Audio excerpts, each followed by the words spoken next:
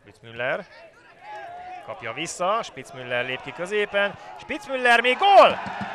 Vezet a Nyíregyháza, Törthelyi szöglete, tizedik perc az első félidőben.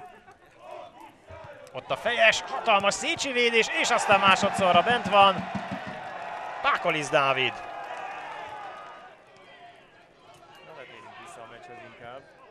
Ott a beadás, és Mikey Buár szépít a második félidő 57. percében.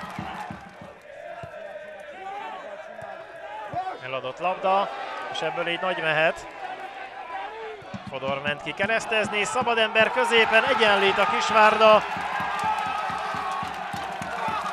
Erős Gábor a gólszerző.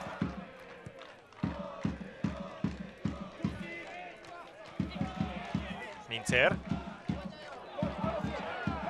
Brankovics nagy helyzetben, Brankovics eltolja Balog mellett, és vezet a Kisvárda.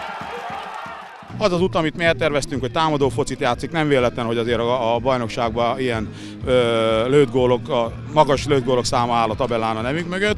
Én azt gondolom, hogy ezt a magasabb csapat ellen is be tudtuk bizonyítani. Korábban a kupa meccsen a Ceglédet is nagyon csúnyán le tudtuk futballozni. Én azt gondolom most ezt a Nyíregyházát is. Ez érthetetlen, hogy egy nb csapat egy fél idő alatt ennyire szét tud esni. Párharcokat nem nyerünk. Mindig hangoztattam, hogy a Kisvárda egy még az MB2-ben is az elején lenne, biztos vagyok benne, a mai játékot látva még inkább ez az a véleményem, de ettől még az osztálykülönbségnek, mint ahogy az első fél időben kijött, az a másodikba is ki kellett vonani.